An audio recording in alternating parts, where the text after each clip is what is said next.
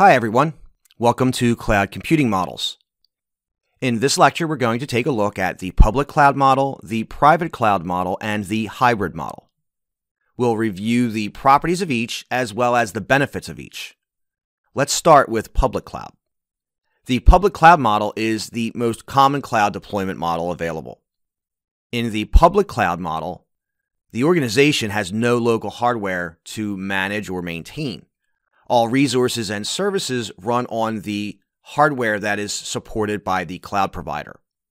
The IT infrastructure, including hardware, servers, and software, resides somewhere other than the on prem data center, and it's all managed by the cloud provider.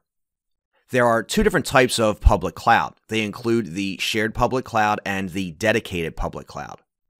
A shared public cloud allows customers of a cloud service provider to share common resources within that provider's environment.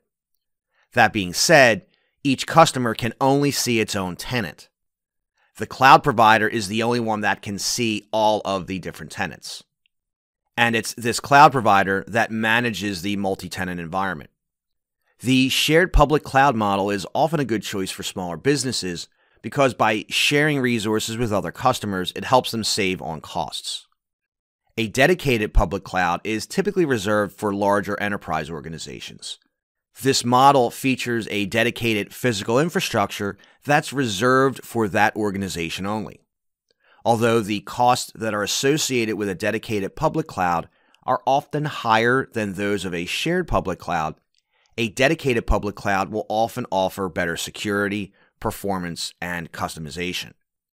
Some key advantages of the public cloud model include lower costs and no maintenance requirements.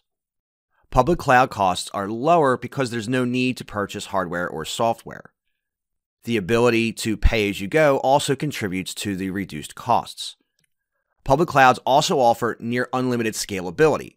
This means that you can automatically provision on demand resources as you need them. And last but not least, public clouds offer high reliability because they rely on a large network of underlying hardware. A private cloud is a cloud environment that you deploy into your own data center. You manage the cloud hardware and you provide self service access to your compute resources to the users within your organization. A private cloud is essentially a simulation of a public cloud as far as your users are concerned. However, your organization is 100% responsible for the purchase and maintenance of the underlying hardware and the services you provide. Private clouds offer more flexibility over their public counterparts because they can be customized to meet specific business needs. And because the resources within a private cloud are not shared with other organizations, they offer improved security as well. Private clouds also offer similar scalability and efficiency to that of a public cloud. A hybrid cloud is essentially a combination of a public and private cloud.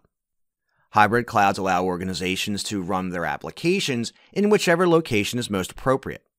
A typical use case for a hybrid cloud would be a situation where an organization wants to host a public facing website in the public cloud that connects back to a secure database that's hosted in the private cloud, or even in an on prem data center for that matter.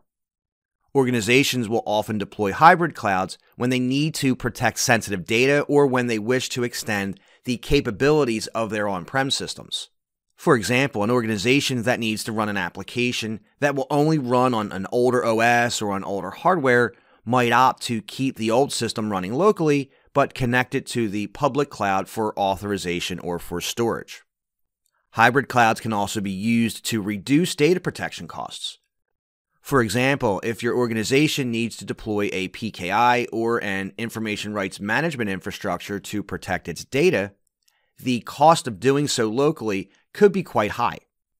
However, enabling these features from the cloud allows you to protect both your cloud and on prem data and documents. Some key advantages of the hybrid cloud model include increased control, the ability to leverage resources in the public cloud only when they're needed, and a cost effective way to scale out to the cloud when needed. A hybrid cloud also eases the transition of your workloads to the cloud. However, there are a few caveats to consider when thinking about deploying a hybrid cloud. Not only is a hybrid more complicated to set up and manage, but it's also more expensive than choosing just one model, whether it's public or private. So keep that in mind.